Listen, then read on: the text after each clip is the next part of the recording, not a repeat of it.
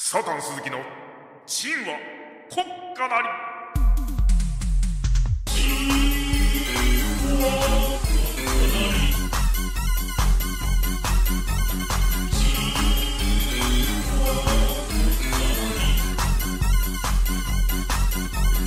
一日二杯の酒を飲み魚は特にこだわらず。マイクが来たならあ微笑んでお箱を一つ歌うだけ。ほうみたい。大阪ベイブルそうせいどうも。なんか途中から違う人になってましたけど。なねえ？んなねほうみたい。んなんやねん我れ あれ何？なんやねん。急あもしかしてあなた。やせややめやめやめや。大阪帰りのやめや。総帥じゃないですか。ちゃうわ。ちゃうわ。あソースくせボケ。え ソースくせえわ。なん？このマイクの音量でかすぎて赤なってるやないか。少し下げたのがええんちゃうか？下げてくれまっか？というわけでだ。はい。えー、まあベーダー教も存じてはいると思うがこ存じて。俺この俺こそがはい。大阪帰りよ、出たな大阪帰り。カンバックという大阪よ歯に青のりをつけて帰ってきたうんもちろんでそういう歌あったよね。わかんない。青のりついてるよ青のりついてるよみたいな。知らない？知らない。というわけではい。今週もだ。うん。始まるな、チンは国家なり。はい。第今週は何個ですか？58でござはいいます。今週は58個ですね、はい。えーお相手は私あなたのお耳のサラダせんべいサタン鈴木と。地球外スネかじりインベーダーの村どです。うもこんばんは。はい。ということで今週は大阪帰りサラダせんべい男サタン鈴木。大阪帰りが名古屋大阪ツアー帰り。あ道中。はまあ約3日間。うん。何を食べてききたのか特集。おー待ってました。ふわふわふわふわふわ。ふわ 何ふわふわ言ってんあれだな。えっ、と前回ベーダー教とチンは国家なりをここで収録したじゃん。はい。その後すぐ池袋へと俺はで赴いて。20時に。20時に池袋集合で。20時に。池袋へと赴いてまずそこでメンバーと合流したと。はい。そそこでうん。カーナビをセットして、はい。さあいざ名古屋へ向かうぞってなったらあの何ーもう何5時間かからないぐらいで着いちゃうのね東京からだと。そっか。いつも我々茨城から行ってたから名古屋は6時間というイメージがあったけどさ、うん東京からだとそんなもんで着いちゃうからもう1時とかには着いちゃう話になるのよ。はい。やべえなと思って。うん。それはそんなバカな話あるか。と思って下道で行ったんだよね。えー、嘘。うっそぴょーん。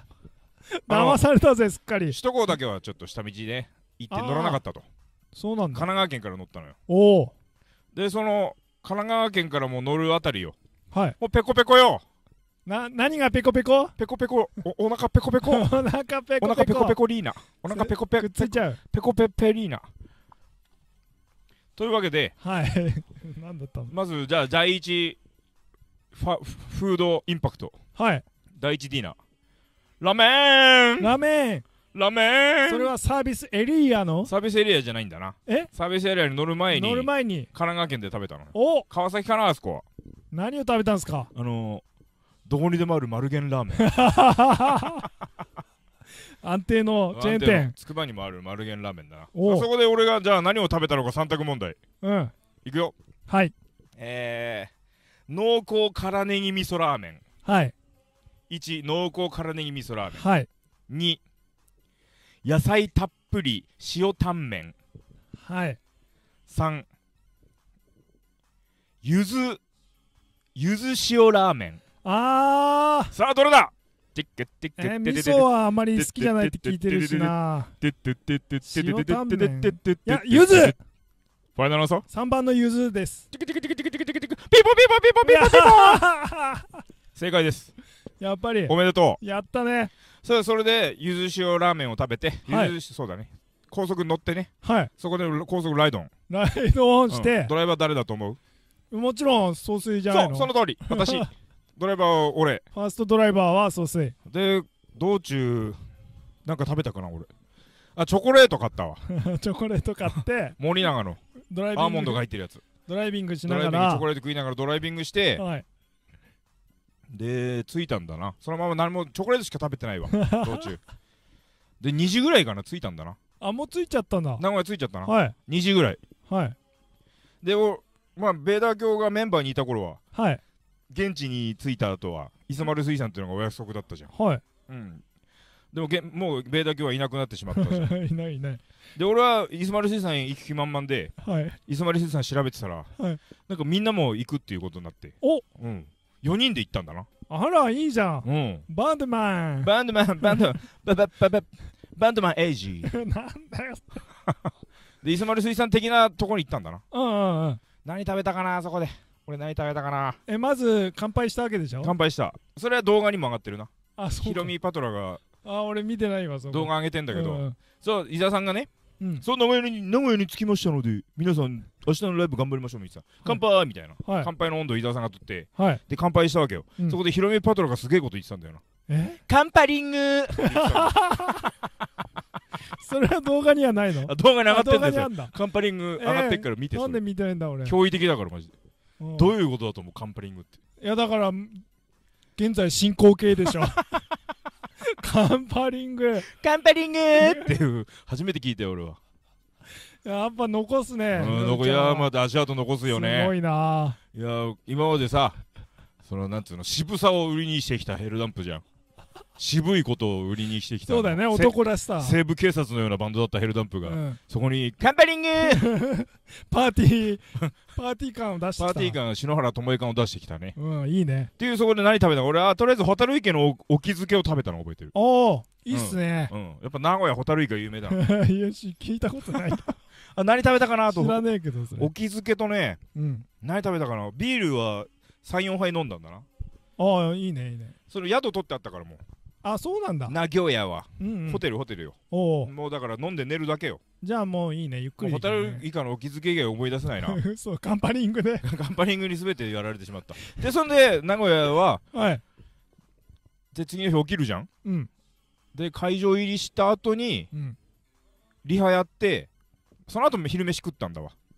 ああそう朝ごはんはなしで。朝ごはん食わなかったんじゃんああ食わなかったと思うんだよな。食わなかったな、はい。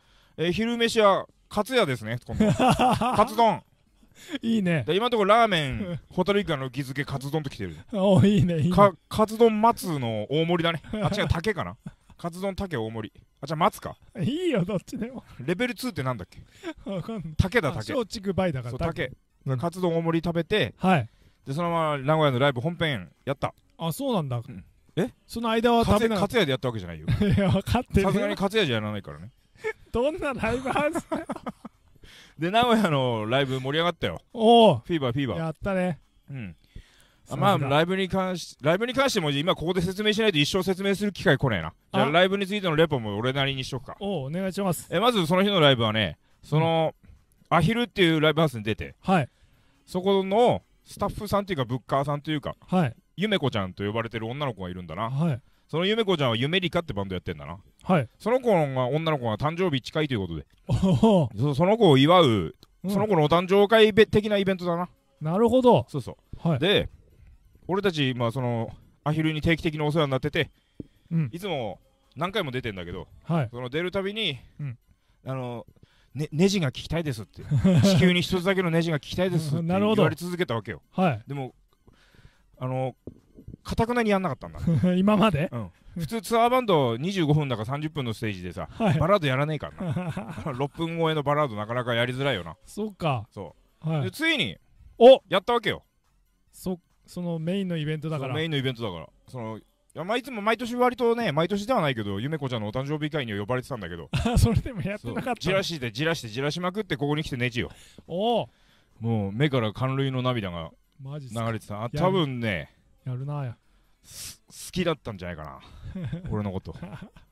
多分だけど。メンがそう言ってた。うん。もうライブステージを見る目がもう 乙女の瞳だったね。それ純粋にバンドを見てたんじゃなくてそういう目で見てたそういう目で見見てるやつらが何人かいたから、ね。やっぱり名古屋はいいショーだったんじゃないかな。ああいいね。それそんなどうだっていいんだよライブの本編のことなんかよ。え？どうだっていいんだよ。そうだよ。俺が語りてえのは何を食ったかなんだよ。そうだよ聞きたいのは何を食べたこかってこと。ライブの出来なんかどうだって何,、うん。何の曲やったかなんか全然どうでもいいよね。でそんでそんでだよ。何？本編終わってはい。その後打ち上げだな。うん。そのユメリカのみんなと打ち上げをしに行ったと。おお待ってました。あの鉄板居酒屋焼いてこちゃん。おお焼いてこちゃん ずいぶんそう居酒屋行ったね。可愛い名前ですね。でそこで何食べたかな？お好み焼き食べたの？覚えてる。おお翌日大阪行くのに名古屋で お好み焼き食べたの覚えてる？まずは。まずは。一回お好みうん焼きお好み焼きと焼きそばとね。はい。あとホタルイカのお気づけまた食べてきたアゲインホタルイカのお気づけ俺しか頼ん食べてなかったの。あみんなみんなつまめばいいのに。好きじゃないんじゃない？好きじゃないんじゃん臭ちょっと臭みあるからね。まあねイカだちょからっとイカ特有のね。でそんでまあ鉄板居酒屋焼いてこちゃんで名古屋の夜は過ぎ去ると。はい。でその日の次か。起きた。よまた起きた。ウェイクアップ。ウェイクアップ。ウェイクアップ。その日のウェイクアップのチェックアウトタイムはね9時に起きたんだねチェックアウトではないけど。早いね。そう早いんだよ。朝早く起きたその日みんな眠かったんじゃない。俺は風呂入んの爆速の男だから。あそうか。移動するから。そうそうそう。名古屋で寝たんだね。その日も。名古屋連泊よ。だからなんだかんだで4時ぐらいまで打ち上げしててえホテル戻ったからーうん。4時じゃねえか3時まで打ち上げしてうん。3時半頃ホテル着いたのかな。ちょっと離れてんだよ。じゃあ5時間ぐらいしか寝てそないんだ。うそう。で俺は速攻で風呂入って10分ぐらいで風呂入って頭も乾かせずそのまま寝たから5時間半の睡眠時間を確保してはい。だけど他のやつらはようん。コインランドリー行って衣装洗濯しなきゃいけないとかよ。お風呂入ってからじゃないととか。ムカつくな綺麗好きぶりやがってよ。いるよなそういうやつ。そういうやついるな誰のこと誰のことだと思う？カンパリング。あのクソカンパリング女がよ。カンパリングめ。コインランドリーで衣装洗濯しないと寝れないんです。いやいいと思うけど。全然まあ構いませんけどでもそなんかカンパリングやろうだけじゃなくて。やる。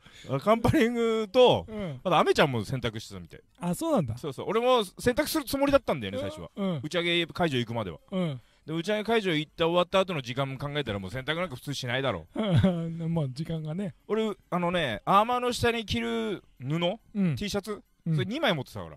ああ。そうそう。それ着替えりゃいいんだけどうん。あのズボンハーフズボンみたいなピチピチしてるやつ。はい。あれ1枚しか洗わなかったから。あれはね。あれは翌日の大阪洗わないままあれ履いてライブやったと。そんな報告いらねえ。ケンペリングカンパリング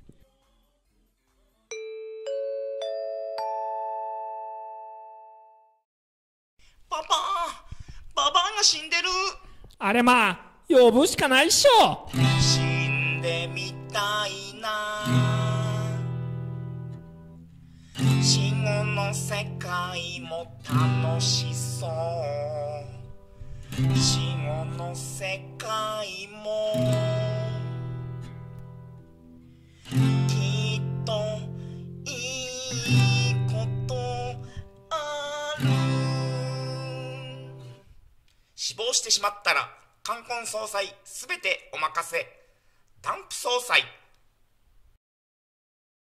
というわけで、はい。大阪へ向かうとうん。大阪へ向かってその時ね、はい。あ違う名古屋の向かう途中、うん。途中で交代した運転そういえお。ばあのー、3時間ぐらい俺運転した後アメちゃんが運転したね名古屋まで。はい。あれアメちゃんだっけな？ヒロミパトロアメちゃんだな。うん。で名古屋から大阪に向かう途中の運転は誰でしょう？え？誰だと思う？そう。名古屋から大阪？え伊沢さんじゃなくて？あれ誰だっけかな？俺も今言っといて誰だっけかな？ヒロミパトラが運転してたような気がするんだよな忘れちゃったな。で途中朝飯食べたの俺は。あみんな食べねえでやんの。食べねえでやんの。なんか食べねえことがかっこいいと思ってるデブいるじゃん。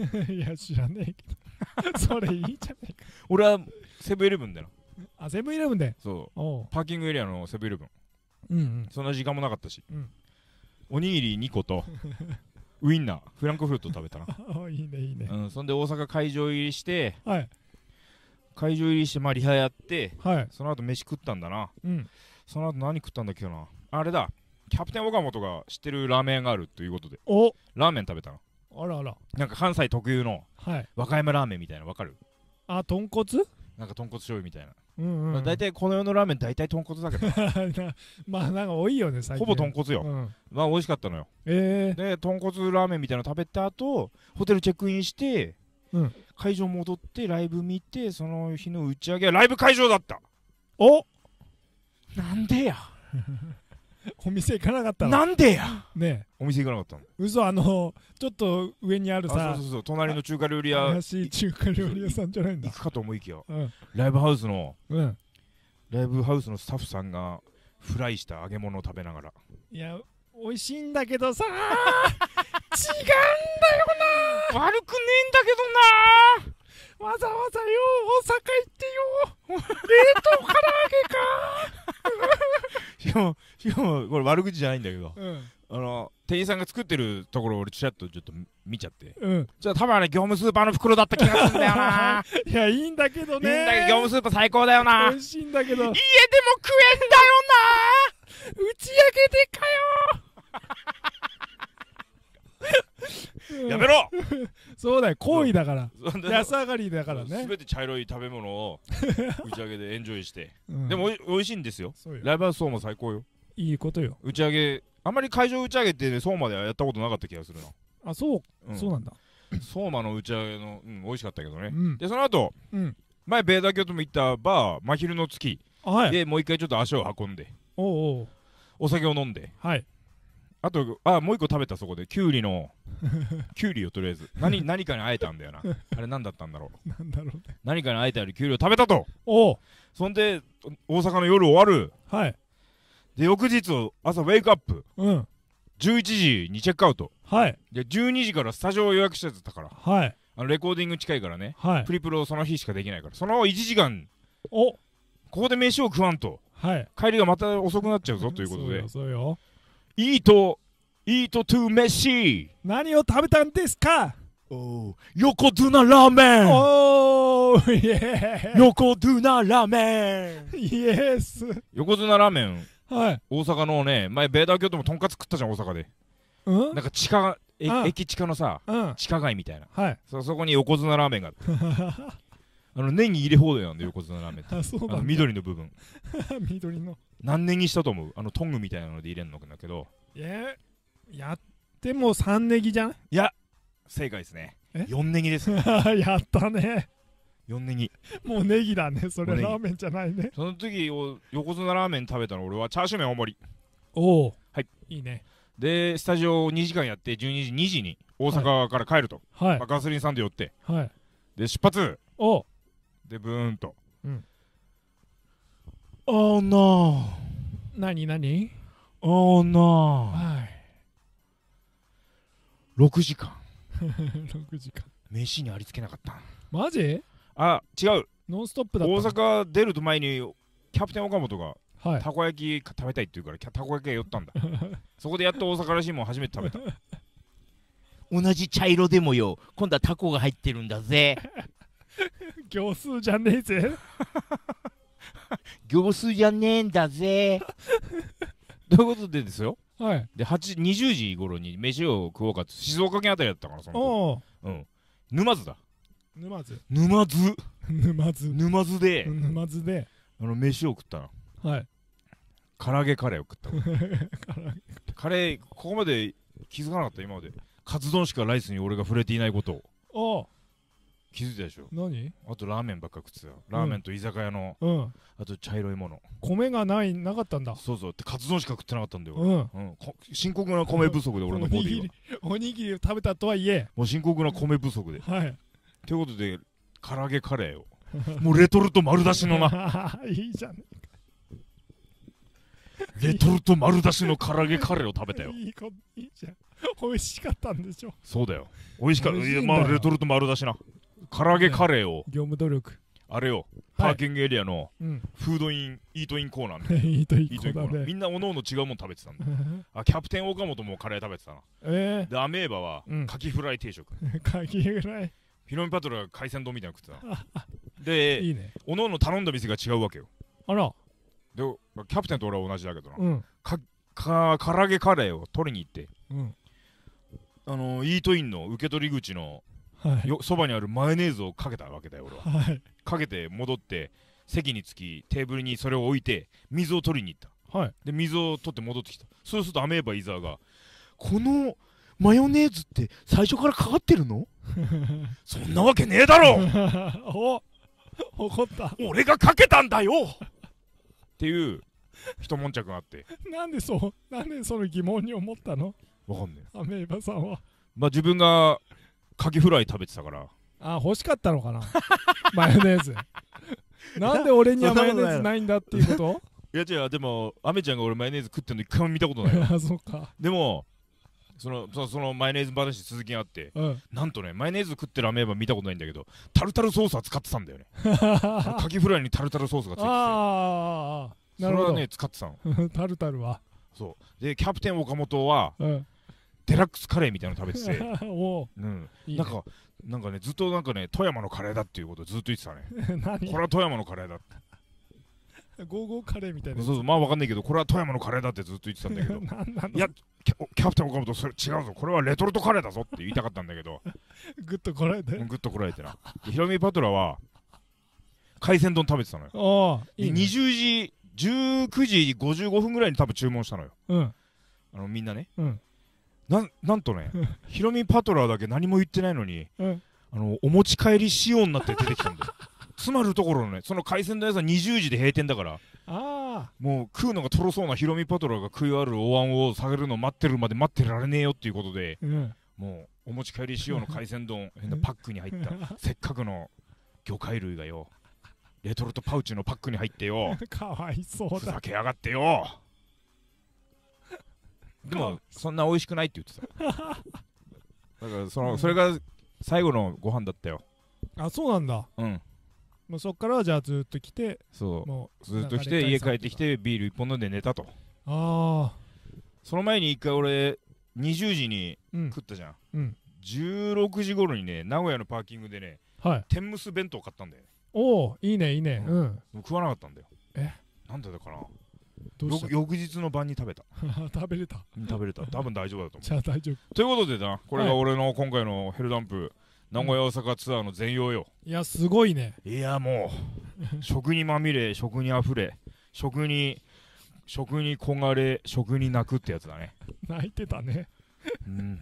テンペリング。カンパリンだグ。一番の収穫はやっぱカンパリングが来たことかそのツアー中はどうだったの？あの知らない緑は知らない緑のなんか新しい一面見れた？あ知らない緑の新しい一面は？うん。キャプテンの。キャプテン岡本の新しい一特に面特になはし。うーん。なんなんうーん。まあ優しいよね。それ新しい一面じゃね？そんなことないよ。なんかあったんだろうけどな。カレーにこだわりがあるっていう一面が分かったね。いや別にこだわってるわけでもない その言いたかったんだ。そうそう。キャベツが乗っかってたのかなキャプテン岡本のに。あレトルトな 割りレトルト割りにじゃなくてなんだっけ？レトルトえ？レトルトならではじゃなくてなんつうんだっけな。レトルトのくせにレトルトなりに。なりに？レトルトなりにキャベツを乗っ取ってた それがトップオブキャベツよ。金沢なんだ。でキャプテン岡本はあれだね。物物知りだったそういえあそう。ばうん。博学だった。えー、物知り知識知識人だったね。そうなんだ。なんか行きの車で前ベーダーでもやったけどさクイズヒロミっつってさ、はい。ヒロミパトラが数秒だけ曲を流してくれるイントロクイズをやってたわけ。でことごとく俺が正解を出すわけよ。はい。そうすると正解が出た後にキャプテン岡本はその曲の豆知識を絶対言うってね。おおなんか調べてじゃなくて。調べて知ってんだよね、えー、この曲のねこの歌手はねなんとかかんとかで、えうん、昔しこってたことあるらしいよみたいな。ー、なんだかよくわかんないけど。うすごいね。豆知識王だね。でヒロミパトラは相変わらずよ、パパーリー。うん、パーリーパーリーナイトでマイペース。キャンペリングー。アメちゃんもあの調子よ。うんいいねいいね。そんなツアーだったな。あ。まあ今回のねまたツアーを経たことによってこの4人のねうん。ステージングだったり。はい。ステージングテクニックそして、うん。ドライビングテクニック。ドライビングでそしてカンパリングテクニック。また一つ絆が深まったら、ステージングドライビング、うん。カンパリング。そうもちろん。このツアーに大切な三原則よ。順番変えたのがいいか。ドライビングステージング、カンパリングだね。なるほど。運転してドライビングして赴いて かっこいいステージでステージングを爆発させる。でその後打ち上げ会場でカンパリングいいいねやこれカンパリングまだ聞いてない人マジヒロミパトラのねツイッターの動画にあるから。そうだねちあょっと。の何日か前の名古屋につじゃあ我々は着きましたみたいな動画にはい。びっくりするよマジで。こんなこんな厳粛厳粛な内容のさはい。まあねおも長旅疲れた男たちのヒロミパトラの絵は映ってないんだよ。ヒロミパトランが撮ってるから。カメラはヒロミパトランが装着してさ。だから俺たちがすげえもう疲れたビール飲みたいっていう。さい伊沢さんが乾杯って言ったら乾杯にー。どこからともなく急に現れるの？すごいぜマジで。ということで、もうこんな時間メールちょっと紹介しようか。はい。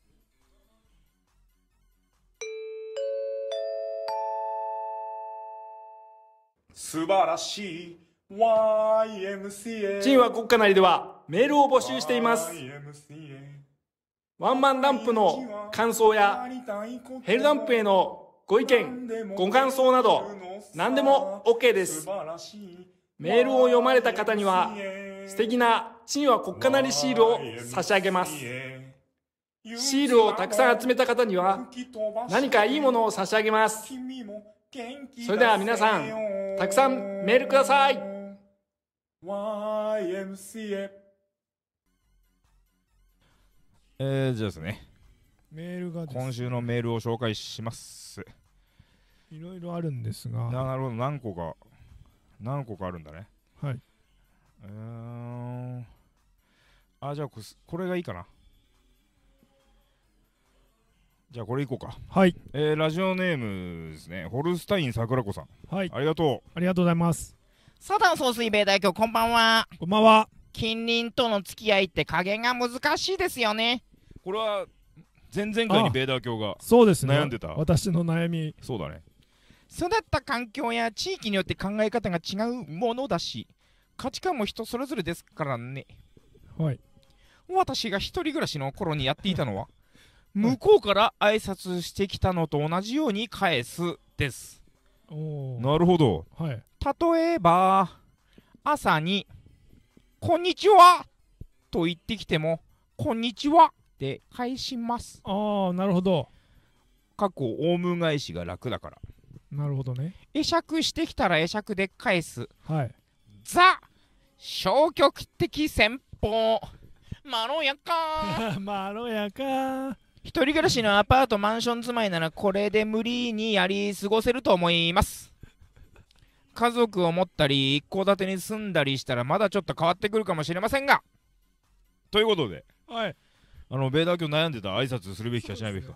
これオウム返し戦法ね。ああなるほど。いいんじゃないの？もうだから考えずにうん。言われたことをそのまんま返してうん。いれば丸く収まるよと。なるほど。ちょっとやってみようか。はい。いやー野村さん。あどうも。こんばんは。こんばんは。あいいいいね。もうちょっとオウム返しいけんじゃないの？え？ちょっと俺にもやってみて。あどうも総帥こんばんは。こんばんは。これピッチまで合わせていかないと。いやめんどくさいわ。今絶対合ってたんで。嘘。あ野村さん。おはようございます。おはようございます ちょっとよくわかんない。あ野村さん、はい。おはようございます。おはようございます。こんにちは。こんにちは。あいいじゃんいいじゃん。いいの？言うほど音痴じゃないんだね。いやわかんない。野村さん野村さんさんさんっていう、まあ、例えばはい。このホルスタイン桜子さんの住んでたアパートはまともなアパートだったからこんにちはって言ってきてもこんにちはで返せたかもしれない。はい。例えばじゃあうん。すげえどぎついアパートに住んでしまって。あってベーダー教が例えば郵便受けに手紙を取りに行った。はい。あのその隣の部屋。野村さんだ!って来て。あは野村さんだ!野村さんこんにちはわんわん野村さん!っつってもうずっと目の前で踊られされた時よ。そうだよね。俺はどうしたらいいわけ？いやもうオウム返しでしょ。これはもうホルスタイン桜子さんからこういうメールをいただいてしまったわけだから。ということは俺も「こんにちはおお向井さん。こんにちはお向井さん」ってやればいいんだ。やってみようじゃあ。じゃあベーダー教がじゃあ、うん。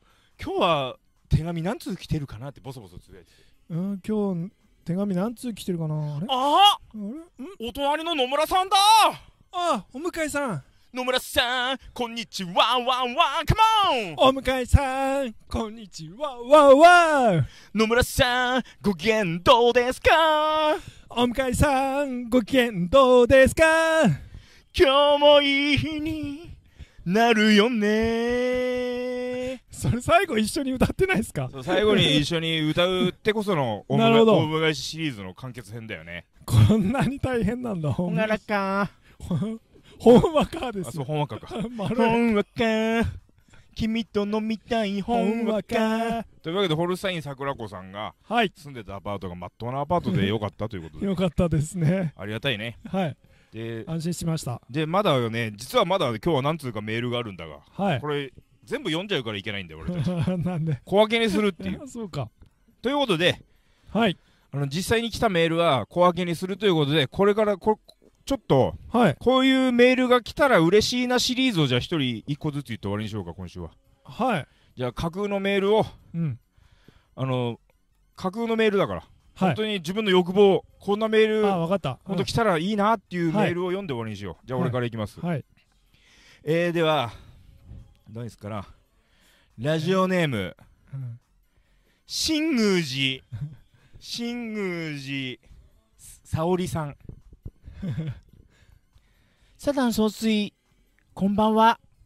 はこれ実際ラジオメールメールが来たもんだと思ってちゃんと返あ事してな。こんばんはこんばんは。こんばんはってもう一回。新宮寺誰誰だっけ？新宮寺沙織さん。沙織さん。サタン総帥こんばんは。こんばんは。チーム国家なりとても楽しく拝聴しています、はい。サタン総帥は一見横暴に傍若無人に傍若無人にお話しされているように一見見えますが私には分かります。サタン総帥はとても優しくて博学な人です。私はとある女子大に通っていますがみんなサタン総帥の話題で持ちきりです。自分の私は2年前17歳の時からチームや国家なりを聞き始めてチームや国家なりのおかげで大学受験にも成功してサタン総帥からいつもパワーをいただいています。なるほどとてもかっこよくてうん。博学なサタン総帥。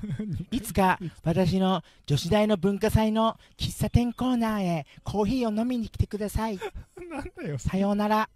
ありがとう。ありがと誰だっけラジオネーム。なんとか。いや女子大生から女子大生から女子大生からそんな褒められちゃった先女子大生から褒められちゃっ生マジかよ。たあある？こんなことベーダ教ある？ないね。ある？ないよ。持ちきりだって。ベーダ教にもメール来てんじゃないの？メール来てる？メール来てんじゃないの？嘘。じゃあこ今回ベーダ教読んだらいいんじゃないの？えじゃあうん。じゃあ総帥読ませていただきます、サタン総帥。はい。インベーダーさん、はい。こんにちは。こんにちは。いつも楽しく拝聴しています。どうもありがといつも毎週水曜日ううん。ワクワクしながらドキドキしながらうん。とってもおかしく楽しみにしています。うんありがとう。うんでも総帥うん。うんちょっとインベーダーさんをうん。強くいじめすぎじゃないですか？うんうん。彼もとっても頑張っています。うん時には優しく優しい言葉をかけてあげてください。うんうんうん。インベーダーさんこれからも無理せずこの調子で頑張ってください。うんうんうん。とっても素敵です。ペンネームインベーダーの母より まあということで。架空だから。はい。うん。お母さんも心配してるよ。そうですね。うん。やっぱ母親思いの インベインベーダーなーダーベーダー教は。はい。やっぱねお母さんにいつ聞かれるんじゃないかと。もしかしたら聞いてるかでも最近の黄色くなった後のイエローチンは国家なりになってからは割と相当優しいけどね。そうだね。むしろ。ないね。ノー暴言。そうだよ。ということで毎週もういつメールが来なくなっても困らないようにはい。こうやって来たらいいなっていう理想の手紙をもう頑張って紹介していきたいと思うこ考えとくしかない。こういう手紙来たらいいなシリーズ、分かった。うん、そういう手紙来たらいいなって言い続けることによってうん。来るかもしれないもん。女子大生。わかりました。信じ続けることによって病気は治るし笑顔が一番の特効薬よ。なるほど。もう、うん。一心不乱にさ、はい。バカになろうよ。夢見たっていいじゃん。なんなのついてってないんだけど俺何の話してるというわけでもうはい。終わりだ。はいえみんな今週も聞いてくれてどうもありがとう、はい。こういうのが大事なんだよな。そうか。うんこういうこと言わないじゃん。言ってなかった。サダン総帥っていつも急に言われる。もっともっとこういうこと言ってこうよちゃんと、うんいいねいいね。聞いてくれてる人への感謝。はい。もっとバカになろうよ。えーみんな今週も聞いてくれてどうもありがとう。少しでもみんなの人生の何かさ足しにとまでは言わないけど。うーんそうだな。チャーシュー麺でいうところのチャーシューぐらいにはなりたいよね。麺とまでは言わないよ そうすいまた長くなうん長くなっちゃうね。どうでもいいことをこうなかなか喋ってるのが俺の悪い癖なううん。うん皆さん、じゃあ聞いてくれて今週もどうもありがとうございました。ありがとうございままた来週お会いしましょう。サタン総帥、万歳、万歳、パパッパッパッパパッパッパパッパッパッパッパッパッパンバンザイ、アディオー